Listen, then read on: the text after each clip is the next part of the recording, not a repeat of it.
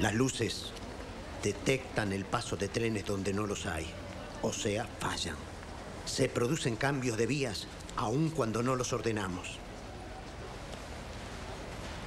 Y hay un tren completo que no podemos encontrar.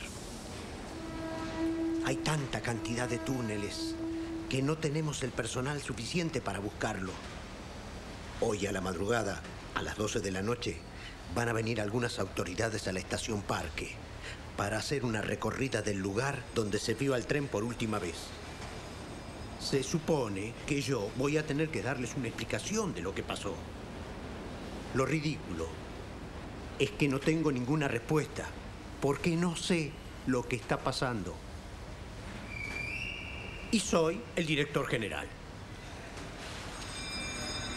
Oiga, necesito todos los planos que aprobó el ministerio. Por si preguntan algo, ¿vio? ¿Cómo explico la desaparición de un tren completo? Confío en que usted venga con los planos. ¿Cómo me dijo que era su nombre? Daniel Pratt. Ah, bueno. Bien, señor Pratt. Lo espero esta noche.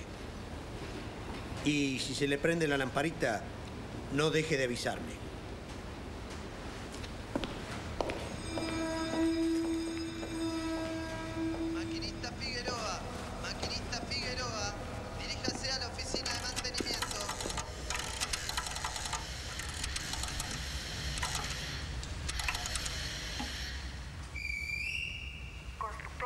Sí, el arquitecto Decker, por favor. No, el arquitecto no se encuentra. ¿De parte de quién? Daniel Pratt. ¿Quiere dejar algún mensaje? Sí. Que llame al ministerio y me autorice a hacer unas copias de los planos del perimetral.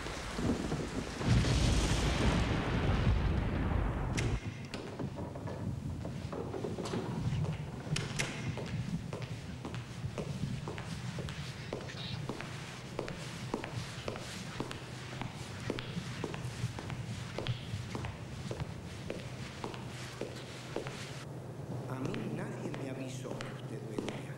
27, 28, 29, 30. Llevo 40 años ordenando estos archivos. ¿Está seguro de que están por acá? Por supuesto.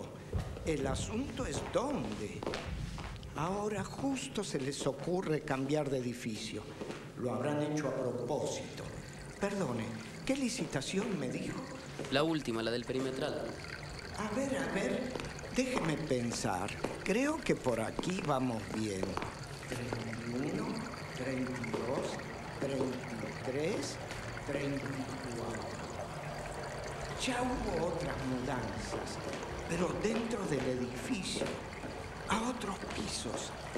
Hace años hubo una tormenta que hizo que todos estos archivos flotaran durante días. Es en el estante de arriba, sección G110. Deje que subo yo.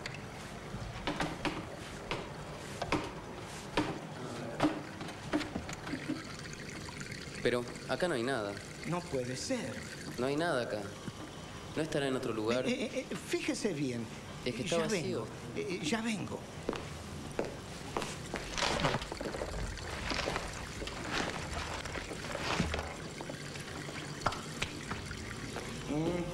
Sí. Me parece que no tiene suerte. Esos los retiraron. Pero ¿cómo? ¿No es que no se pueden retirar planos originales? Depende quién los pida, como siempre. En este caso, el que los retiró figura como un asesor del proyecto. Así que no puedo decirle que no. ¿Me entiende? Creo recordar al tipo. Era un hombre muy callado que tiempo atrás solía venir y se pasaba horas revisando esos planos. Aquí está, Hugo Mistein. ¿Usted tiene algo que ver con él?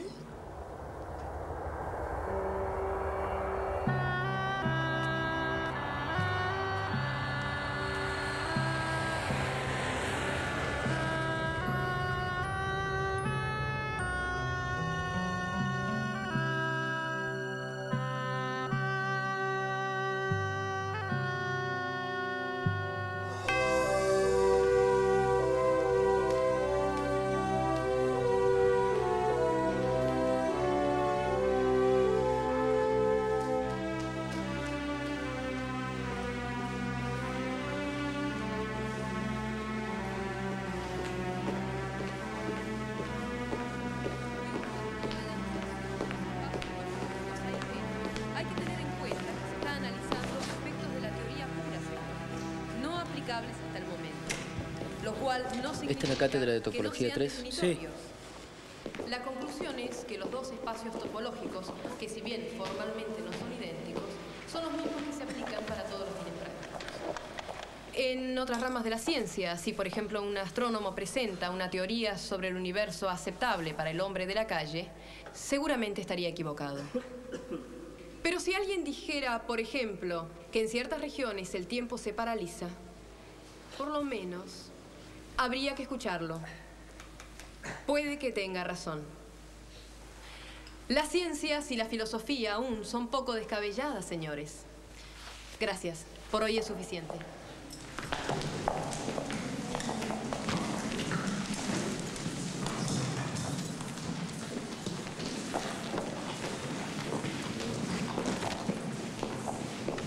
¿Puedo hacerle una pregunta? ¿Usted es alumno? No. No, ya no, egresé hace un tiempo. ¿Y en qué puedo ayudarlo? Bueno, es que estoy buscando a un profesor que estaba a cargo de la cátedra. Por lo menos lo estuvo durante muchos años. El doctor Minstein. Ujú. No, pierde su tiempo. ¿Cuánto hace que no lo ve?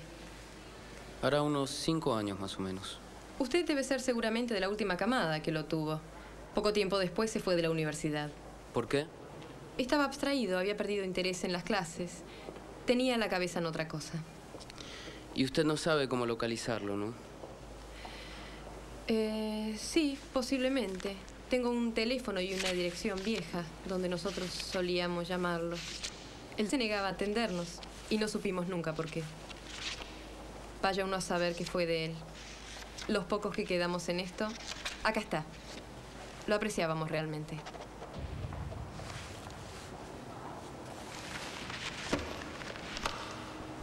Bueno, discúlpeme, se me hace tarde. Adiós.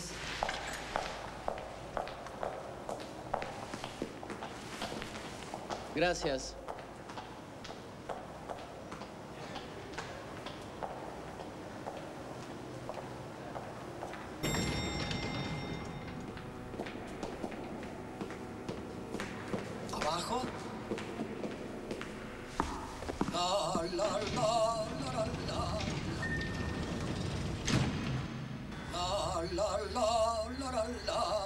¿Sabe dónde puedo encontrar un teléfono?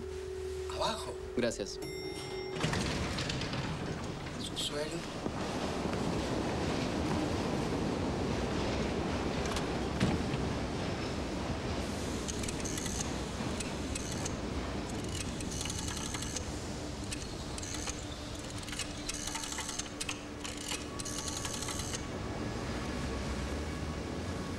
Hola.